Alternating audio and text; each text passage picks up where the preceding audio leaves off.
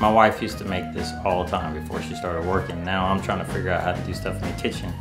And I just had to do the spaghetti squash. So I'm gonna give it a try. It's my first time ever making spaghetti squash. Let's see how it goes. It's a little hot still, so.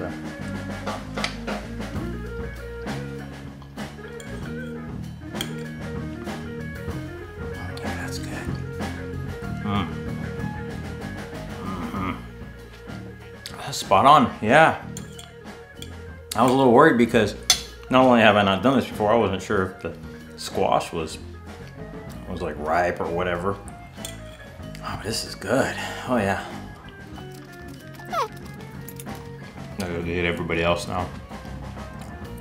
I don't think they anticipated me pulling this off. So they probably fell asleep waiting or something. See what they think. Hmm.